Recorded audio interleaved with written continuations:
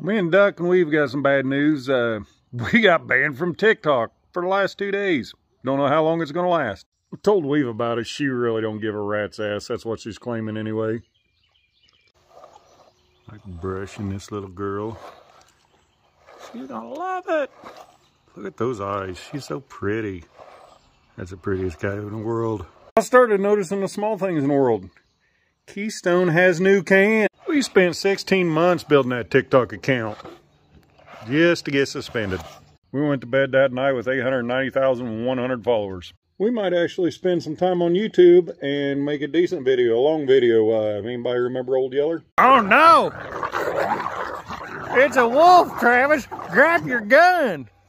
Woo! Good thing we had Old Yeller. He protected us from that wolf. It wasn't good for Old Yeller.